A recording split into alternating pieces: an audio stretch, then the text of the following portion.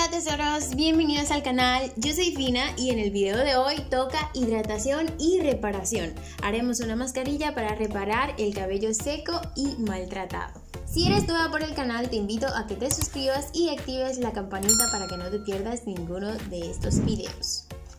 Yo llevo ya casi cuatro semanas con estas trenzas y ya comienzo a notar que el cabello está bastante seco, opaco y sin brillo. Miren cómo se ve se está abriendo muchísimo como intentando salir corriendo de las trenzas y al tocarlo se siente súper rústico. Esto es porque cuando el cabello está seco, las fibras capilares se abren para intentar captar la mayor humectación posible del ambiente. Esto es el frizz. Así que vamos a estar preparando una mascarilla de maicena para reparar el cabello seco. Todos los ingredientes que voy a estar utilizando en este video son ingredientes naturales que han demostrado ser una joya para la hidratación de mi cabello, pues no solo lo hidratan, sino que también lo nutren, lo repara y le aportan brillo. Yo y mi pelo estamos más que listos, así que comencemos.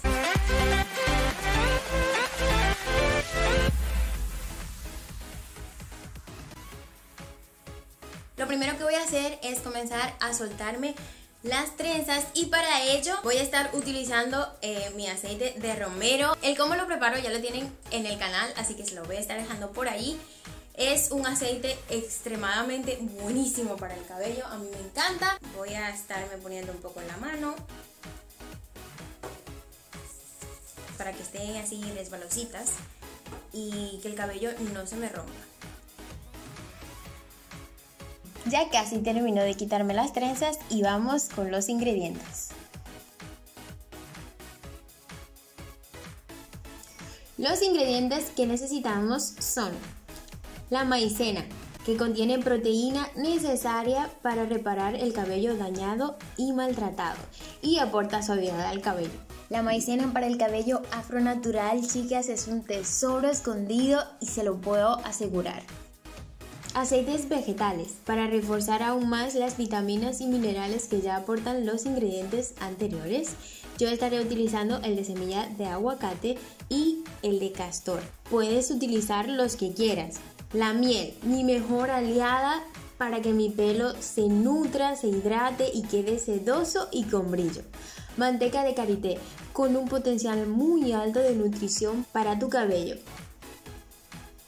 Y por último, un acondicionador. Es importante para reconstruir el cabello después del champú. Este no me prueba mucho, así que yo aprovecho para utilizarlo en mis mascarillas y sacarle partido de esta forma. Lo primero que haremos es preparar la maicena. En una olla vamos a agregar vaso y medio de agua y agregaremos una cuchara de maicena por cada medio vaso de agua, en total 3.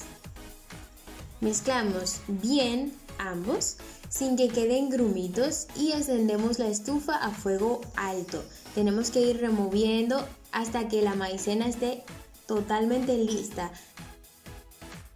Ni se te ocurra dejar de moverla porque en cualquier momento se te puede convertir en vez de una maicena una olla de piedras blandas y así no nos sirve. La cantidad siempre va a depender de la cantidad y largo de tu pelo, así que juega un poco con esto. Una vez lista nuestra maicena de esta consistencia, más o menos, espesa pero no demasiado, la sacamos del fuego y la ponemos en un bol.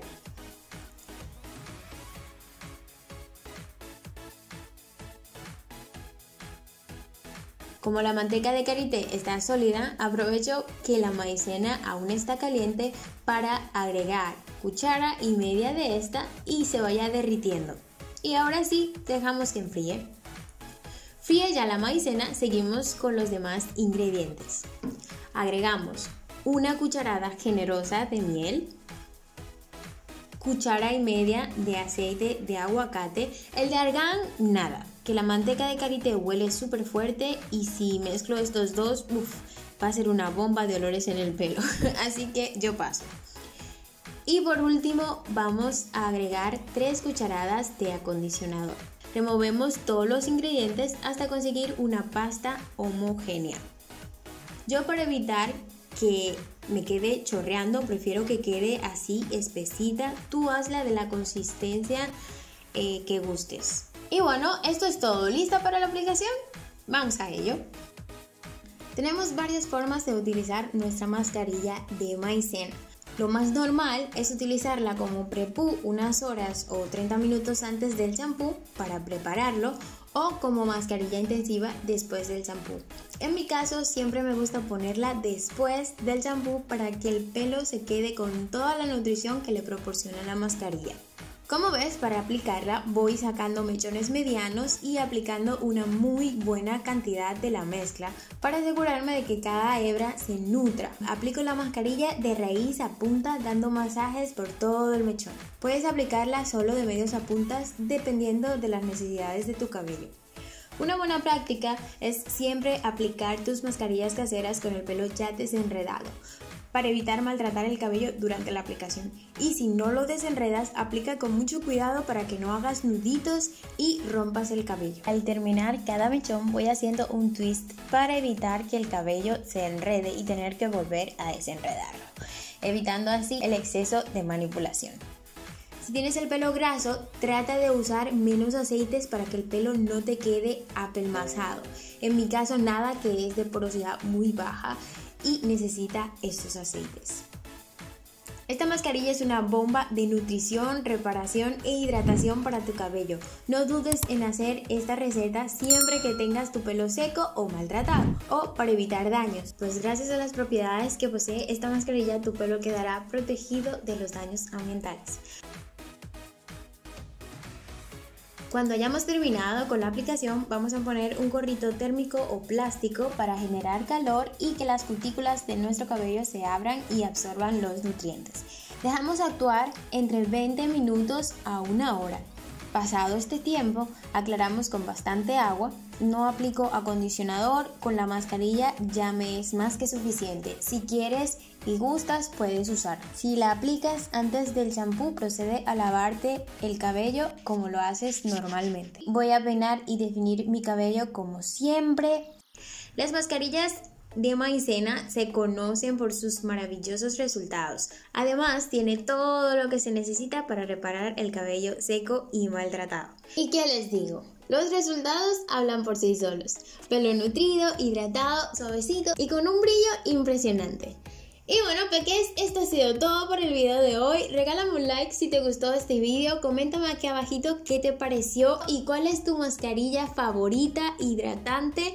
No olvides suscribirte al canal y activar la campanita para que YouTube te notifique siempre que suba un video nuevo. Te mando besitos y abracitos, millones de bendiciones para ti y toda tu familia y espero verte en el siguiente.